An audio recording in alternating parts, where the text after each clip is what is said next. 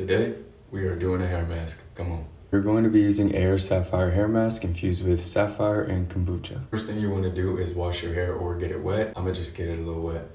I just did a light scrub with shampoo on my scalp and then I also conditioned the ends of my hair to detangle. This is the consistency of the hair mask. We're just gonna take this big old glob here. Mid-length to end. Gathered my second glob. Now the other side. Most likely don't need to use as much as me. I have a lot of hair. Normally you would just put it up and let it sit for five to 10 minutes and rinse. Here's what we're gonna do. Put our hair in this. That's the hardest part, getting all my hair in there. Number two, I'm gonna put this on top. Before we do that, we're gonna heat her up.